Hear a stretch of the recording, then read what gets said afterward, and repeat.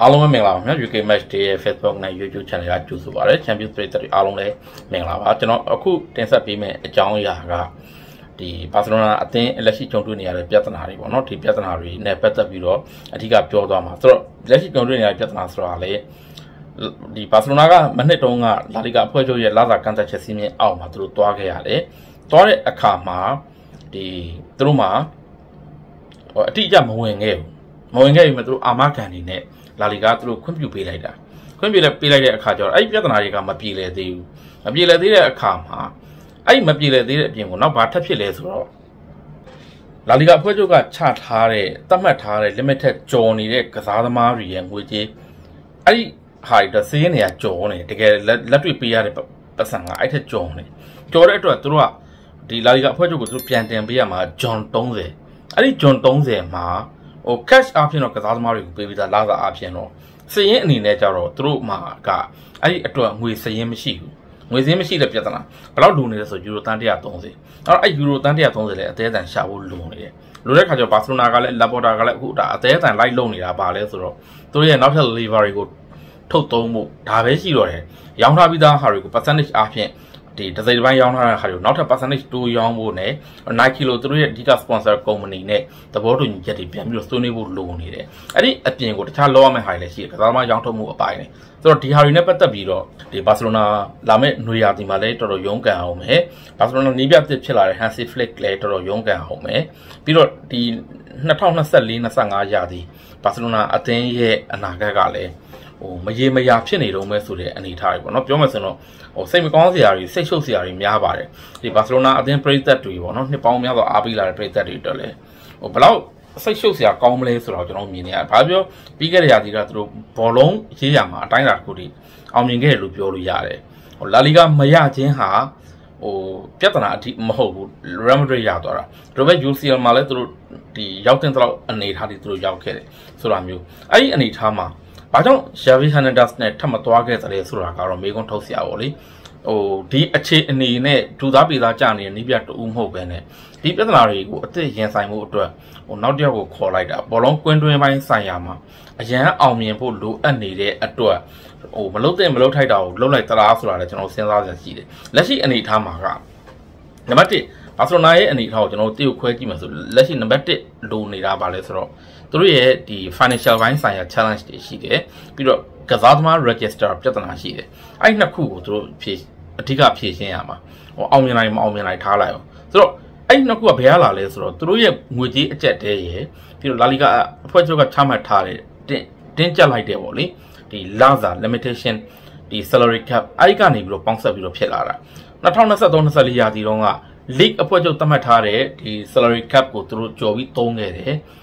ကြော်ပြီးသုံးပြီးတော့ဗန်နာရေးဆိုင်ရာအခက်အခဲတွေကလည်းဟိုတကယ်တမ်းကျတော့အများကြီးပြည်လေသွားတာမဟုတ်ဘူးသူတို့ဟိုနည်းနည်းလေးဟိုရေတို fest လောက်ထားရုံလောက်ပဲရှိတဲ့အခါကျတော့လာမယ့်ရသည်အဲ့တော့တခါထပ်ပြီးကြုံရပြန်ပြီကစားသမား25ယောက်ထဲမှာပထမအသင်းကစားသမား25ယောက်ထဲမှာ9ယောက်ကိုသူတို့စင်းမသွင်းနိုင်သေးဘူးသူတို့အဲ့ဒါကကိုသူတို့အရင်ဆုံးတော့မယ်အလို့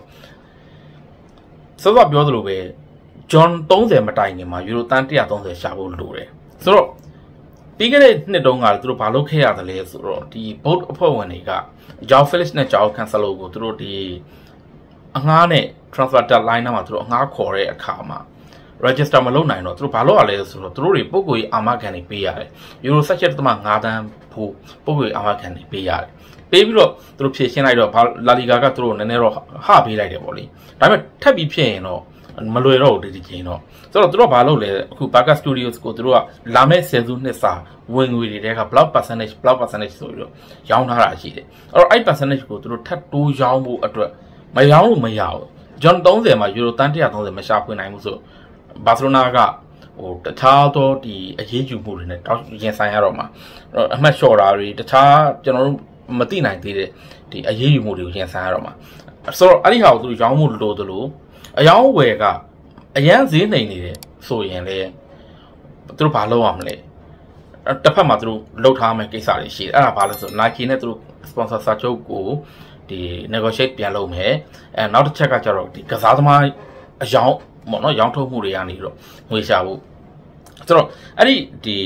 ဘယ်လိုခေါ်မလဲ contractual dilemmas တွေပေါ့နော် Sergio Roberto နဲ့ Marcos Alonso ဒဒီကစားသမားတွေဆိုရင်အခုစာချုပ်တက်တန်းကုန်ပြီအဲနော်ကုန်ပြီးတော့ Joao Felix Joao Cancelo အငှားစာချုပ်တွေကလည်းကုန်ပြီဆိုတော့ဒီကစားသမားတွေအနာဂတ်ကတော့မသေးကြဘူးမသေးကြဘူးဆိုတာထပ်ပို့ပြီးတော့ဒီကစားသမားတွေအသင်းမှာဆက်ရှိဖို့တော်တော်ခက်သွားပြီနောက်တစ်ခုကဒီသူတို့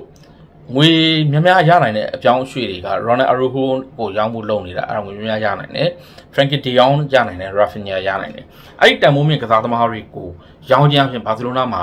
ပြဿနာနှစ်ခုပေါ့နော်တစ်ခုကကြတော့ ယူရိုတန်130ကိုအချိန်မီဖြည့်ဖို့အတွက်အဆင်ပြေသွားမယ်ပြီးတော့ဒီလာမယ့်ရာသီအတွက် salary cap မှာသူတို့ဒီနေဒီကစားသမားတွေကိုပေးရတဲ့လစာတွေရောသွားမယ်အဲ့နှစ်ပိုင်းပြည်လဲသွားမယ်အဲ့ဒီဂျားထဲမှာအခုဆိုရင် Alejandro Baldi တို့ Lamin Yamal တို့ပြီးတော့ Paul Kovacic တို့အဲ့ဒီကစားသမားတွေရဲ့အနာဂတ်ကလည်း မရေရဘူး။ဘာကြောင့်လဲဆိုတော့ဒီကစားသမားတွေဟာဒီလာမစီယာကနေထွက်လာတယ်။ထွက်လာပြီးတော့ဘာစီလိုနာကစားကြတယ်။အဲ့ဒီအဆင်ပြေတယ်။လာမယ့်ရာသီအခု2024 25ရာသီအတွက်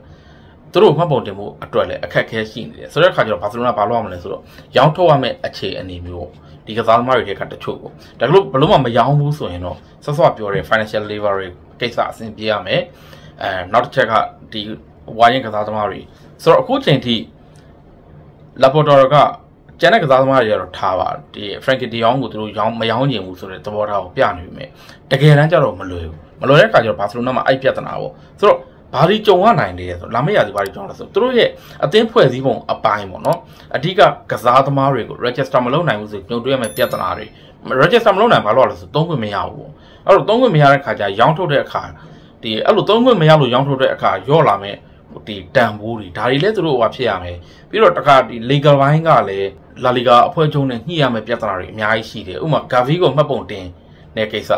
Gavi ကိုမှတ်ပုံတင်တဲ့ကိစ္စနဲ့ပတ်သက်ပြီးတော့လာလီဂါနဲ့ဒီတရားဝင် legal တိုက်ပွဲတွေရှိနေအဲ့ဒါနဲ့ပတ်သက်ပြီးပြောရမှာတွေကအများကြီးပဲတော်တော်လေးရှုပ်ထွေးနေတယ်ဆိုတော့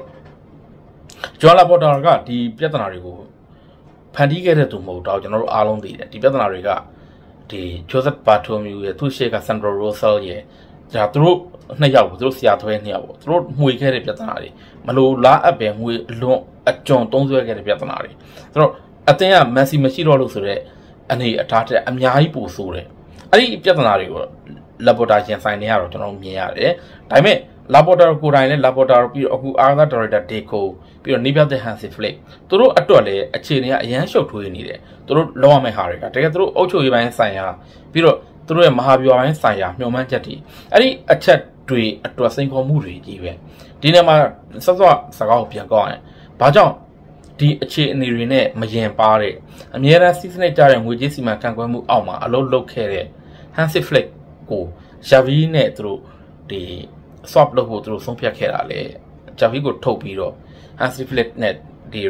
သူတို့အစားထိုးခဲ့တယ်။ဘာကြောင့်အဲ့လိုလုပ်ခဲ့ရတာလဲ။ဘယ်လို့မှနားမလည်နိုင်ဘူး။ Xavi နဲ့သာဆိုရင်ဒီအခြေအနေတွေကိုနားလည်ပြီးသားဆက်ပြီးတော့လှုပ်လှုပ်တဲ့အခါမှာ result တွေလည်းအဲ့လောက်ဆိုးတာမဟုတ်ဘဲနဲ့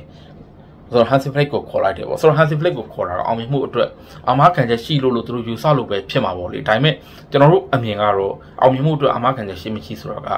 မရေရာဘူးဘာမှကြုံမြင်နိုင်တဲ့ကိစ္စမဟုတ် အခြေအနေပေါင်းစုံဖြစ်သွားနိုင်တယ်အဲ့ဒီအနေအထားမှာအသင်းနဲ့ဒီအသင်းရဲ့လက်ရှိကြုံတွေ့နေရတဲ့ဒီ crisis တွေနဲ့မရင်ပါတဲ့နိပြတူဦးနဲ့ဆက်သွားမယ်ဟာတော့ရင်လေးစရာပဲဆိုတော့ဘာစီလိုနာပရိသတ်တွေအတွက်လည်းတကယ်လဲစိတ်မကောင်းဘူးဒီအသင်းကိုနှစ်ပေါင်းများစွာအားပေးခဲ့တဲ့သူတွေဒီအချိန်မှာဘယ်လိုခေါ်မလဲကို့အသင်းကိုစိတ်နှစ်ရင်နှစ်တော့ဘလောက်ခံစားနေရမလဲဆိုတော့လည်းကျွန်တော်တို့နားလေတယ်ဒါပေမဲ့ဘာစီလိုနာမှာတေးကြတာကတော့အဲ့ဒီပြဿနာတွေကိုကျွန်တော်30မှာတိုင်တယ် အလင်းမြန်ဖြည့်ရှင်းနိုင်ဖို့လိုတယ်အသင်းကအဓိကကစားသမားတချို့ထပ်ထွက်သွားအောင်မယ်ဆိုတော့ဒါကတော့ဘာစီလိုနာနဲ့ပတ်သက်တဲ့လက်တော်အခြေအနေပေါ့နော်ဆိုတော့ဒီဟာကိုဒါသုံးသပ်ခဲ့တာဖြစ်ပါတယ်ကြည့်ရှုအားပေးခဲ့ကြတဲ့ UK Match Day ပရိသတ်တူချင်းစီကိုကျေးဇူးတင်ပါတယ်ခင်ဗျာ